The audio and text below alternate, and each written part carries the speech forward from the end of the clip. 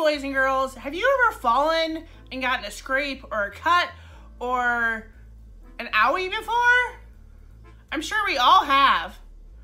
What did your parents do about it? Well, I'm sure if you were bleeding, your parents gave you a band aid, maybe a small one, and if it was really big, a bigger one, right? That's the purpose of band aids to cover up our wounds so they don't get infected. Have you ever had to use gauze before? A gauze is normally wrapped around a band aid to keep things in place, right? Or maybe you bumped your head and your parents gave you an ice pack. When we get sad, as kids, we go to our parents, right? We go and we want hugs and kisses and and we want to be comforted and know that everything's going to be okay. And parents do everything they can to make you feel better. That's exactly what God does for us. It says in Psalms 147 3, He heals the brokenhearted and He binds up their wounds.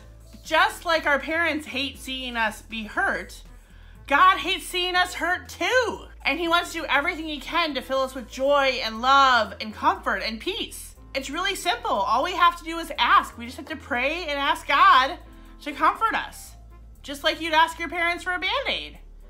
Isn't that amazing? So, band aids and ice packs and other first aid materials remind us that God loves us and wants to protect us and care for us. So, whenever you're feeling sad or lonely or hurt, know that God is there to show you His love and that He cares for you. Have a great day!